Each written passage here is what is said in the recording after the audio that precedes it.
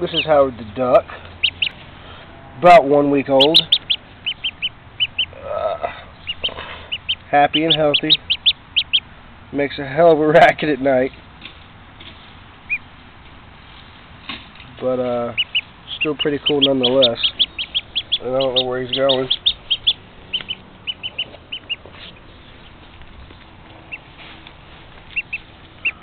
But, uh, yeah, there's the duck. Just to say I have a duck. Pretty cool.